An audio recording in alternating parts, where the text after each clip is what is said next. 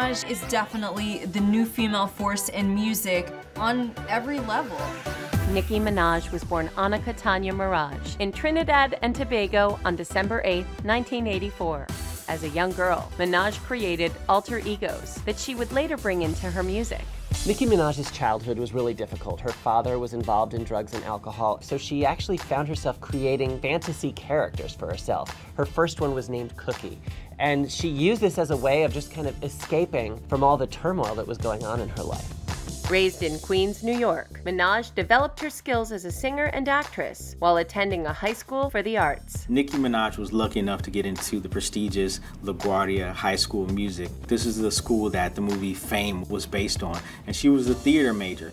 Stalled as an actress, Minaj became a background vocalist and joined an all-girl group before her solo music was discovered on MySpace. Nicki Minaj was discovered on MySpace by a guy named Fendi who had a company called Dirty Money Records. And he had a mixtape series called The Come Up. And Lil Wayne heard her on one of those mixtapes, and that's how he discovered her. Starting in 2007, Minaj released three mixtapes. And in 2009, she caused a major bidding war, but was eventually signed by Young Money Entertainment. Young Money was instrumental in shaping Nicki Minaj's success because now she was part of this team of power players in the music industry.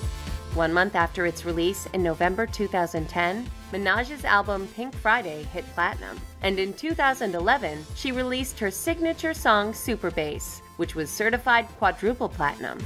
Nicki Minaj was the first artist to have seven songs simultaneously on the Billboard Hot 100 charts, which is unprecedented.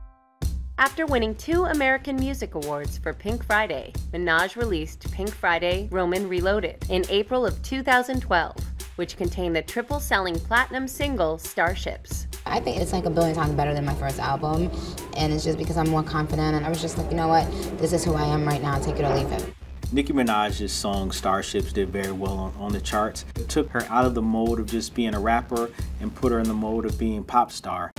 Minaj signed on for the 12th season of American Idol and had a rocky start after launching a verbal assault on fellow judge Mariah Carey. Nicki Minaj is a woman that commands attention and has the talent to back it up. She's a great rapper, singer, she's a fashion icon, and she's a little bit controversial, so when Nicki shows up, you're watching to see what happens. With her own Barbie, fragrance, and numerous endorsement deals, Minaj has established herself as a fearless superstar.